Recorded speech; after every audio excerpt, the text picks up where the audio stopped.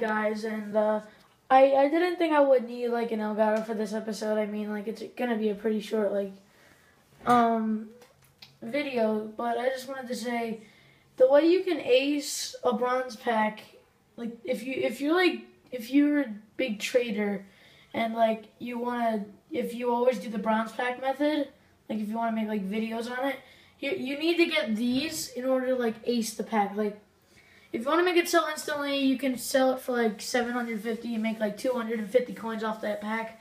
And yeah, and if you pack a silver like this one, I mean, it's not really going to sell quick, but you can pack it and make some coins off of that pack too.